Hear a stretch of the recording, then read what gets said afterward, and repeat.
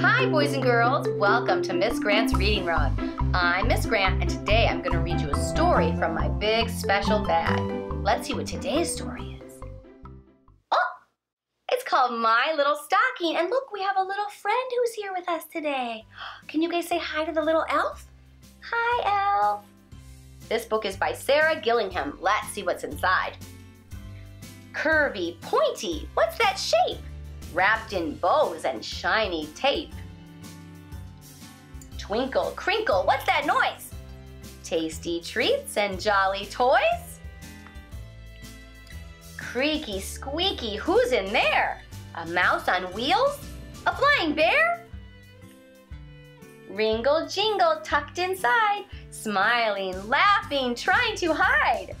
Who hopped off the snowy sleigh? A fuzzy friend who wants to play. There's our elf. Oh, that was a cute book. Time to say bye to our elf friend. Bye, elf. Thank you guys for reading with me today.